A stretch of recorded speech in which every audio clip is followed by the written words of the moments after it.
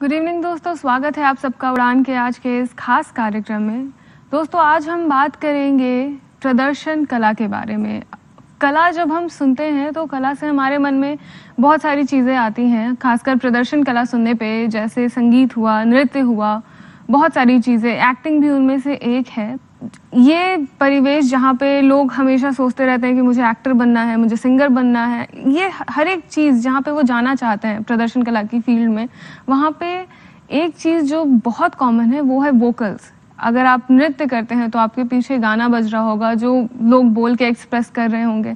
कोई एक्टिंग करता है तो वो अपने डायलॉग्स के थ्रू एक्सप्रेस कर रहा होगा। पर जो माइम आर्टिस्ट होते हैं उनके पास ऐसा कोई साधन नहीं होता। उन्हें सिर्फ़ अपने फेस के हाव भाव से और अपने बॉडी के हाव भाव से सारे एक्सप्रेशन आपके सामने रखने होते हैं और सारे के सारे एक्सप्रेशन आप तक पहुँचाने होते हैं और आपको हर एक चीज़ फील करवानी होती है। मैं आपको मिलवाना चाहूँगी हमारे इस खास गेस्ट से। बहुत बहुत स्वागत है आपका, सुमित। बहुत बहुत धन्यवाद आमंत्रित करने के लिए मुझे इस प्रोग्राम में। मैं सभी दर्शकों को प्रणाम करना चाहता हूँ। और सुमित जैसा कि मैंने आपके इंट्रोडक्शन में कहा कि आपने एक, अपना एक गोल छोड़ा, एक बना बनाया करियर छोड़ा और फिर आप इस फ़ील्ड में आए। तो कितना डिफ़िकल्ट रहा एक बने बनाए, अच्छे फ़ील्ड को छोड़कर, एक स्ट्रगलिंग फ़ील्ड में आना? डिफ़िकल्ट नहीं रहा क्योंकि बेसिकली पहले से ही प्लान्ड था। और मुझे एक्टिंग करनी थी मुझे बहुत दिलचस्पी थी एक्टिंग में। और एक्टिंग से जुड़ने के लिए जो भी कला मेरे सामने उस वक्त प्रस्तुत हो रहा था जिन जिन लोगों के संपर्क में मैं आ रहा था उन लोगों से के पास जो भी कला था जैसे मैंने अगर, मैंने शुरुआत करी तो मुझे एक्टिंग की खोज में मैं निकला और मुझे कोई गाइडलाइन नहीं मिला प्रॉपर और लेकिन फिर भी मुझे भरतनाट्यम कोई सिखा रहे हैं तो उनके यहाँ मैंने दो महीना, तीन महीना भरतनाट्यम सीखा। फिर मैंने एक्टिंग शुरू की, तब पता चला कि एक्टिंग यहाँ होता है, यहाँ एक्टिंग करते हैं। उसी उसी कड़ी में फिर मुझे माइम के बारे में मिला जानकारी कि माइम भी एक प्योर आर्ट फॉर्म है और एक्टिंग में इसका बहुत इंपॉर्टेंस है, ये भी सीखना चाहिए। तब मैंने माइम सीखा और माइम सीखने के बाद आज मैं अपने आप को एक्सप्लोर कर रहा हूँ एक माइम आर्टिस्ट के साथ। मैं एक माइम आर्टिस्ट के रूप में भी और और एक स्टेज एक्टर के रूप में भी। तो एक्सप्लोर करते रहिए। ज़रूरी नहीं है कि आपको जो चीज़ चाहिए आपको फ़र्स्ट स्टेज पे मिल जाए। हर चीज़ आपको थोड़ा थोड़ा आगे जाते जाते स्टेप बाय स्टेप फाइनली मिल ही जाती है। तो जैसा कि आपने कहा कि आपको माइम ने बहुत हेल्प किया तो आप क्या चूज़ करते हैं? एक्टिंग या फिर माइम देखिए मेरा जो गोल है वो एक्टिंग ही रहा है लेकिन एक्टिंग करने के लिए बहुत सारे प्योर आर्ट फॉर्म्स होते हैं, जिसको आपको सीखनी पड़ती है, तब जाके आप आप अगर सिनेमा देखेंगे या फिर आप कोई प्ले देखेंगे तो उसमें बहुत सारे प्योर आर्ट फॉर्म्स का मिक्सचर होता है और एक एक्टर को उन सभी प्योर आर्ट फॉर्म्स को सीखना चाहिए। कम से कम उसके बेसिक्स तो सीखना चाहिए और, और निरंतर सीखने की ये प्रक्रिया है कभी खत्म नहीं होती है। उसी कड़ी में मुझे माइम लगा जो एक एक्टर को माइम की बेसिक जानकारी रखने में उसका एक्टिंग बहुत वो डेवलप होता है उसमें वो निखार कर पाते हैं। इसलिए मुझे माइम में बहुत ज़्यादा दिलचस्पी रहा है और एक्टिंग भी मेरे लिए उतना ही इम्पोर्टेंट है। तो मैं आपको एक छोटा सा झलक है जैसे मान लीजिए किसी भी चीज़ को जो एयर में अभी नहीं है और उसको मुझे विजिबल करना है किसी भी इनविजिबल चीज़ को विजिबल करना है मुझे तो माइम के रूप में उसको मैं कैसे दिखाऊँगा तो फॉर एग्ज़ाम्पल हम्म। अगर मैं केला खा रहा हूँ तो एक केला का एक जो शेप एंड मेज़रमेंट होगा तो ये मान के चलिए अगर मैं केला खा रहा हूँ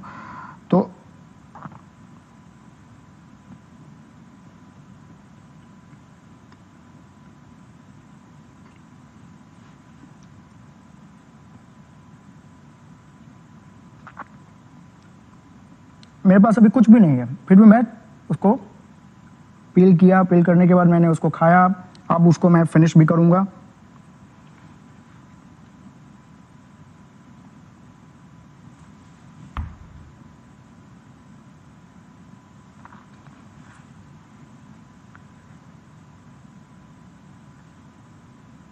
तो इस तरह से कुछ होता है। आगे मैं और भी बहुत सारे एल्यूजन्स आज के इस एपिसोड में मैं दिखाऊँगा और माइम के बारे में बहुत सारी बातें जी तो माइम का उद्देश्य है कि इनविजिबल चीज़ को विजिबल बनाना और विजिबल चीज़ को इनविजिबल बना देना। तो काफ़ी मुझे लगता है ये काफ़ी एक technical kind of art form है। तो आ, मैं जानना चाहूँगी कि ये इस क्या क्या टेक्निकलिटीज़ हैं इसमें एक्चुअली क्योंकि जब आ, किसी चीज़ को आप इस तरीके से डिपिक्ट करते हैं कोई चीज़ वहाँ नहीं है फिर भी उस चीज़ को दर्शाना।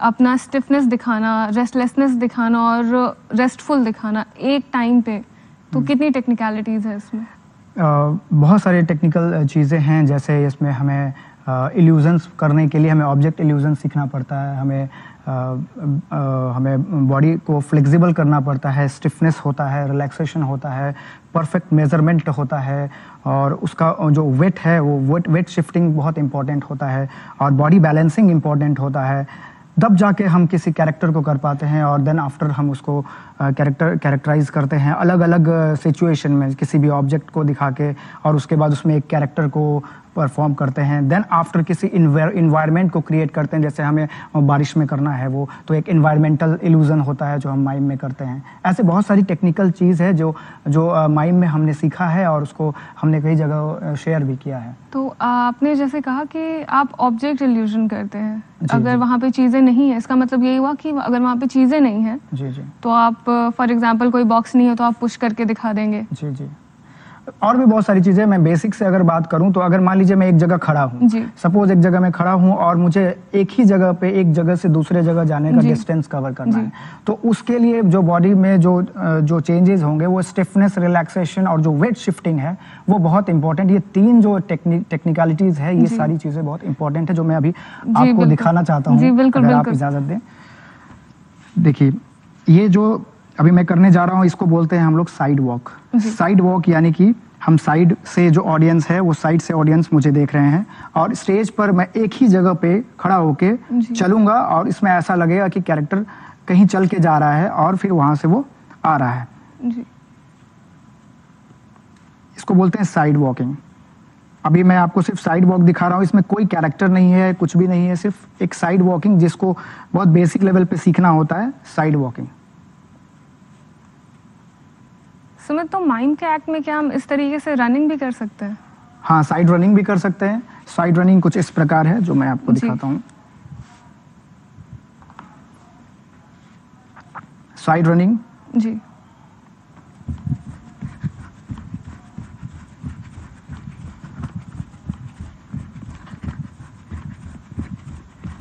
ये साइड रनिंग आप दोनों तरीके से कर सकते हैं। इधर से भी टर्न होके कर सकते हैं इधर भी कर सकते हैं। इसमें वेट शिफ्टिंग बहुत इंपॉर्टेंट है। आपने मुझे एक चीज़ कही थी कि जब हम ये सारी चीज़ें करते हैं तो हम अलग अलग एज को भी डिपेक्ट कर सकते हैं। हाँ बिल्कुल दिखा सकते हैं अलग अलग एज और अलग अलग कैरेक्टर को दिखा सकते हैं। जब आप वो इल्यूजन अगर आप सीख लीजिएगा देन आफ्टर उसमें आप एज कैसे दिखाते हैं उसमें आपका जो बॉडी स्ट्रक्चर है जो बॉडी का जो लाइंस जो बनते हैं उसमें आप चेंजेस दिखाएँगे। फिर फेशियल एक्सप्रेशन को दिखाएँगे। कैसे फेशियल एक्सप्रेशन में आप नाइन इमोशंस जो जानते हैं उस नाइन इमोशंस को इम्प्लीमेंट कर सकते हैं। और जितने भी कैरेक्टर्स होते हैं जैसे अगर रावण का कैरेक्टर आप कर रहे हैं तो आपके चेहरे पर एक एक्सप्रेशन आएगा। अगर वो सीता हरण अगर कुछ कर रहा है कर रहा है कोई ऐसा कैरेक्टर रोल में है तो उसको कैसे दिखाएँगे? उसके लिए जो फेशियल एक्सप्रेशन होंगे वो कुछ इस तरह से होंगे।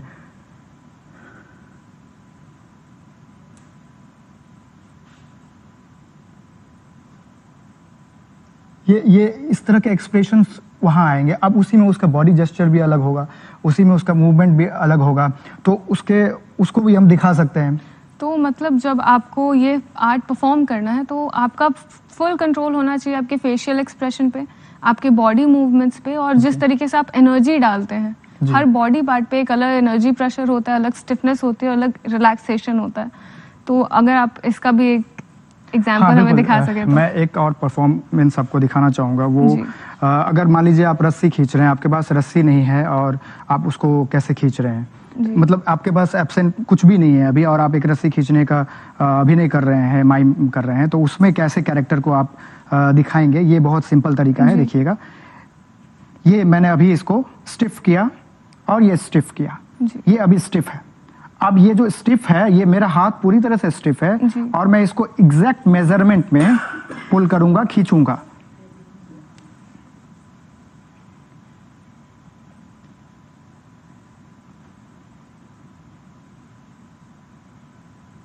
Stiff stiff pull okay relax stiff relax stiff pull ये सिर्फ़ मैंने आपको इल्यूजन दिखाया सिर्फ़ स्टिफनेस और रिलैक्सेशन का इसका पूरा पोस्चर है। अगर मान लीजिए कोई कैरेक्टर अगर इसमें खींचता है तो वो कैसे खींचेगा?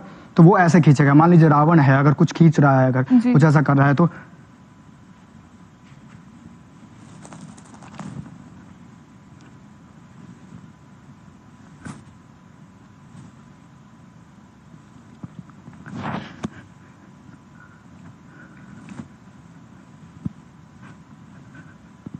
तो ये बहुत एनर्जेटिक है। इसमें उतना ही एनर्जी लगता है जितना सच में आप रस्सी खींचते हैं। तो ये एक एनर्जेटिक है और इसमें बहुत मज़ा भी आता है। जब आपको जब दर्शक देख रहे होंगे तो आपके हाथ में कुछ भी नहीं है और आप उन, उन सारी चीज़ों को एक जादुई तरीके से प्रेजेंट कर देते हैं अचानक। तो काफ़ी इम्प्रेसिव ये आर्ट है और प्योर आर्ट है और uh, मुझे एक्टिंग में इसका बहुत ही इम्प्लीमेंटेबल पॉइंट्स लगा जिसको मैंने uh, मुझे लगा कि ये सीखना चाहिए इसलिए मैंने इसको सीखा है अभी। और अभी सीख भी रहा हूँ। जी सीखना कभी नहीं छोड़ना चाहिए और आपने ऐसे टाइम पे यूज़ किया जहाँ इस फ़ील्ड को आपने अपनाया जब अभी भी मुझे लगता है कि ये काफ़ी फ़ेमस नहीं हुआ है। अभी भी मतलब इतना एक्सपोजर नहीं है बाहर सिटीज़ में थोड़ा ज़्यादा है यहाँ पे थोड़ा और कम है और ऐसे माहौल में जब आपने इस चीज़ को अपनाया आप कुछ साल से कर रहे हैं चीज़ तो कैसा आपको इन्वॉल्वमेंट मिला था इसके प्रति? देखिए ये माइम तो बहुत ही प्राचीन कला है हम सब जानते हैं। बहुत हिस्ट्री है इसका प्रिमिटिव एज से माइम चलता आ रहा है आदि आदि मानव के समय से जब फायर का आविष्कार हुआ तो कैसे उन्होंने शिकार किया? शिकार करने के बाद जब उस शिकार को वो पका रहे होते हैं तो उस खाली समय में जो दो शिकारी हैं एक वो दो शिकारी उस खाली समय को कैसे इस्तेमाल करना चाहिए? तो उसको इस्तेमाल करने के लिए कैसे इंटरटेन करना है ऑडियंस को? इसके लिए सारी चीज़ों को यानी उस शिकार का जो पूरा प्रक्रिया है उसको उन्होंने रिक्रिएट किया। एक आदमी सच में शिकारी बन गया और एक कैरेक्टर जो है वो बाघ बन गया या फिर जो जो भी जिसका भी उन्होंने शिकार किया वो बन गया। तो जो बाघ बना या फिर कोई ऐसा जानवर जानवर का कैरेक्टर जो किया वो नॉन रियलिस्टिक हो गया। आ, वो अपने आप वो सच में वैसा नहीं है। और जो रियलिस्टिक कैरेक्टर हो गया जो सच में जो शिकार किया उस वक्त अगर वेपन्स नहीं आया था मतलब कोई भी औज़ार नहीं थे तो इसी तरह की कुछ चीज़ों को लेकर वो परफॉर्मेंस हुआ होगा उस उस समय में जब तक उनका खाना पक रहा था। तो जब तक उनका खाना पक रहा था तो वो ऐसे ही परफॉर्मेंस को उस वक्त किए और पूरा परफॉर्मेंस उस वक्त किए क्योंकि उस वक्त स्पीच नहीं था सिर्फ़ साउंड थे। तो साउंड्स का इस्तेमाल करके और बॉडी जेस्चर और फेशियल एक्सप्रेशन से उन्हीं पुरानी चीज़ को जो शिकार का जो उनका प्रक्रिया है उसको उन्होंने रिक्रिएट किया और वो एक तरह का इंटरटेनमेंट हो जाता है। फिर बाद में इसी तरह से कुछ इन्फॉर्मेशन भी देते हैं। इस तरह से करके छोटी छोटी चीज़ों तो वहाँ से जो है वेस्ट की जो ये प्रिमिटिव एज की जो स्टोरी हम बचपन से सुनते आ रहे हैं वहाँ से ये डेवलप हुआ। और और जब भारत की बात करें तो भारत में हम नाट्य शास्त्र हमने पढ़ा है नाट्य शास्त्र में अभिनय के चार प्रकार में से एक प्रकार है आंगिक अभिनय जिसमें आप अपने अंग उपांग और प्रत्यांग इन सारी चीज़ों से आ, को मिलाकर कुछ न कुछ बॉडी से कुछ मूवमेंट्स क्रिएट करते हैं कुछ इल्यूजन्स क्रिएट करते हैं जिसका कुछ मीनिंग होता है तो ये बहुत इम्पैक्ट इम्पैक्टफुल होता है। और ये वेस्ट में जो मैंने बताया वो स्पॉन्टिनिटी थिएटर ऑफ़ स्पॉन्टिनिटी वहाँ से माइम से ही शुरुआत हुई है। बाद में जब भाषा हमारे पास भाषा आ गई उसके बाद फिर हमने इसमें स्पीच ऐड कर दिया एक्टिंग हो गया डायलॉग हो गया डायलॉग्स डिलीवरी हो गया वॉइस हो गया। तो माइम इसका बहुत प्राचीन कला है प्योर फॉर्म है वो माइम और वहीं से वो आया है। तो जैसा आपने अभी तक हमें दिखाया कि अगर कोई ह्यूमन फॉर्म किसी चीज़ को डिपेक्ट करेगा तो किस तरीके से करेगा? और अभी आपने कहा कि अगर ऐसा हुआ होगा तो किसी ने जानवर को डिपेक्ट किया तो अभी जो आप माइम आर्ट फॉर्म करते हैं तो सिर्फ़ ह्यूमन डिपिक्शन पे चलता है या अभी भी आप एनिमल्स को डिपिक्ट करते हैं इस फॉर्म से? अब देखिए कैरेक्टर तो बहुत सारी चीज़ें होती हैं एनिमल्स भी होते हैं। मैं तो चेयर हमारे पास नहीं होता कई बार तो हम चेयर्स भी बन जाते हैं या फिर चेयर्स पे बैठ भी जाते हैं तो कैरेक्टर्स बहुत सारे होते हैं। अगर एनिमल्स की बात करें तो एनिमल्स के भी बहुत सारे ऐसे कैरेक्टर्स हैं जिसको आप बॉडी जेस्चर्स जैसे घोड़ा है आप दिखा सकते हैं हिरण दिखा सकते हैं फिर कोई बर्ड दिखा सकते हैं। हम चाहेंगे कि आप हमारे दर्शकों को कुछ एग्ज़ाम्पल देके दिखाएँ। घोड़ा दिखाना है तो वो सबसे पहले उसके उसके पूरे बॉडी के जो जो उसका मेज़रमेंट है और वो जो उसका स्ट्रक्चर है उसको हम एक तरह से बस इल्यूजन इल्यूजन्स के थ्रू उसको दिखाने का प्रयास करते हैं। ये घोड़ा है सपोज़ जी।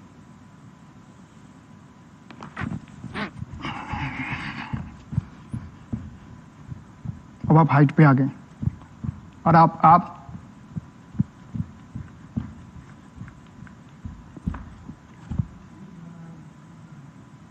आप उतरेंगे इस पर से तो कैसे उतरना होगा? और उतर गया। उतरने के बाद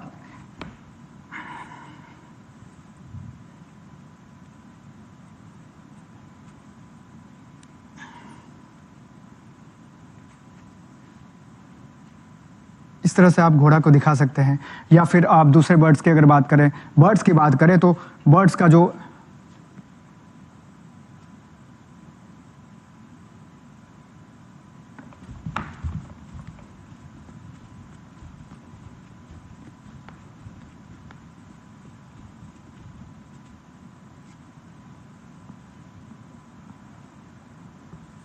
तो इस तरह से इसमें रिलैक्सेशन भी आ गया बॉडी बैलेंसिंग भी आपने देखा और स्टिफनेस भी कहीं ना कहीं हो गया। जी।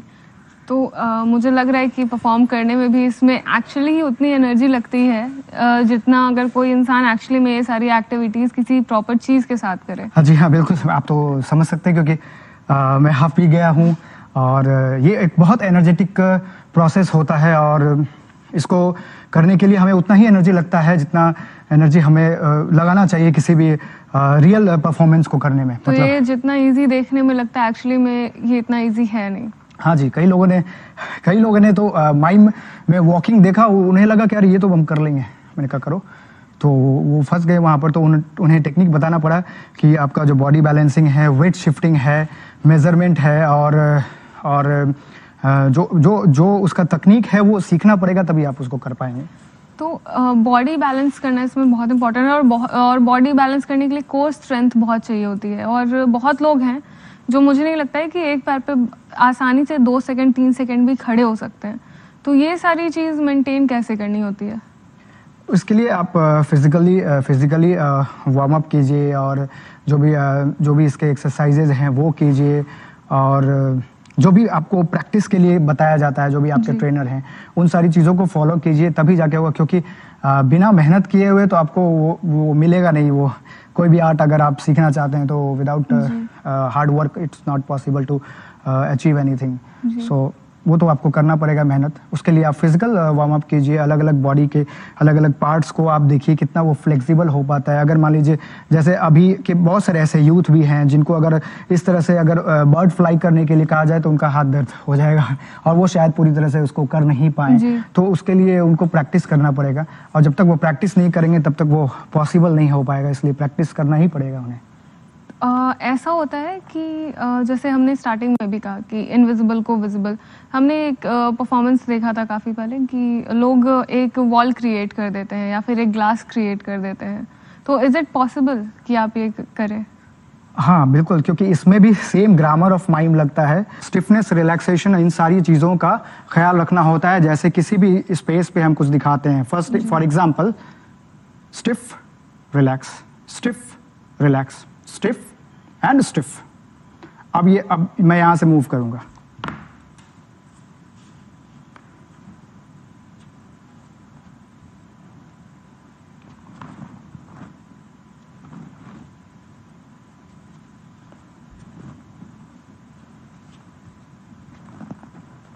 सुमित तो इसमें इमेजिनेशन का एक बहुत बड़ा रोल होता होगा।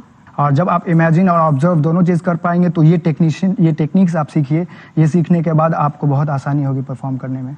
जी तो जैसे बात हुई ऑब्जर्वेशन की इम्प्रोवाइजेशन की तो ऐसा हो सकता है कि आप on stage all of sudden एक स्टोरी इम्प्रोवाइज कर लें टेन सेकेंड्स फिफ्टीन सेकेंड्स इस तरीके की। हाँ जी बिल्कुल आ, मैंने अभी तक आपको जो दिखाया हाँ. है। उसी को लेके एक फॉर मैं बोलना चाह रही थी कि आपने जैसे केले का छिलका इंटेंशनली गिराया। हाँ जी। तो आप जब आप इमेजिन करते हैं तो आप इस तरीके से इम्प्रोवाइज कर लेते हैं कि मुझे याद है कि मैंने यहाँ ये किया मैंने यहाँ पुल किया या पुश किया और इस तरीके हाँ, से हाँ बिल्कुल क्योंकि दो तरह की चीज़ें होती है। एक एक तो इंस्टेंट आपने इम्प्रोवाइज किया इम्प्रोवाइज मतलब ही कि विदाउट एनी प्लानिंग आपको तुरंत करना है वो सारी चीज़ें। और दूसरा होता है कि आपको प्लान स्टोरी मिला है उसके लिए आपने रिहर्सल किया है और उस चीज़ को फिर आप परफॉर्म कर रहे हैं। तो अभी तो मैंने कुछ ऐसा प्लानिंग नहीं किया लेकिन मैं कुछ क्रिएट करने की कोशिश करता हूँ आपको जो भी इल्यूजन अभी तक मैंने आपको दिखाया है।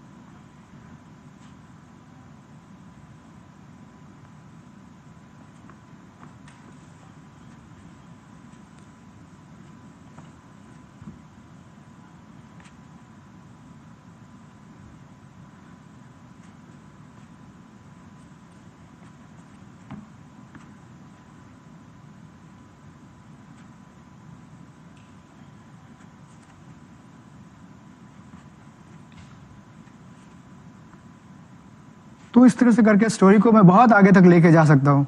तो ये सारी चीज़ें जो मैंने अभी बेस्ट आपको चीज़ है कि मैं जब देख रही थी तो मुझे एक्चुअली में पूरी स्टोरी समझ में आ रही थी कि आपने क्या करना चाहा कैसे शुरू किया क्या हुआ और आप क्यों ऊपर चढ़े क्यों कूदे क्यों भागे ये सारी। चीज़ें एक्चुअली में समझ में आ रही थी। तो इतना तो मुझे समझ में आ चुका है कि एक बहुत टेक्निकल आर्ट फॉर्म है और इजी बात नहीं है। तो मैं चाहूँगी कि जो बच्चे देख रहे हैं जो आपसे इंस्पायर हो रहे हैं आप उनको बस एक जाने के पहले छोटा सा मैसेज दे दें। आप जिस भी विधा में आपकी रुचि हो जिस भी क्षेत्र में आप जाना चाहते हैं पूरे मेहनत के साथ उसमें काम कीजिए आपको सफलता ज़रूर मिलेगी। और अपने माता पिता का आशीर्वाद आपके ऊपर रहे उनका आदर कीजिए बड़ों का सम्मान कीजिए और जो भी आपके आपका ख्वाहि आपकी ख्वाहिश है वो पूरी होगी। और इसी शुभकामना के साथ मैं आप सभी को उज्जवल भविष्य की कामना करते हुए अ, बहुत बहुत धन्यवाद कहता हूँ। एक्सप्लोर करते रहिए, खुद के गोल्स को सेट कीजिए और एक्सप्लोर करके वहाँ तक पहुंचिए और सुमित से इंस्पिरेशन लीजिए कि अगर आपको अपने पैशन को फॉलो करना है तो एक अपना प्लान बी बना के फिर अपने पैशन को फॉलो कीजिए क्योंकि plan B is very important बहुत बहुत थैंक यू सुमित आपका हमारे शो पे आने के लिए और हमारे दर्शकों को चीज़ें बताने के लिए और मैं आशा करती हूँ कि आप लोग को आज का ये कार्यक्रम बहुत अच्छा लगा होगा। मैं इच्छा शुभांगी लेती हूँ, आपसे इजाज़त। देखते रहिए डी बिहार।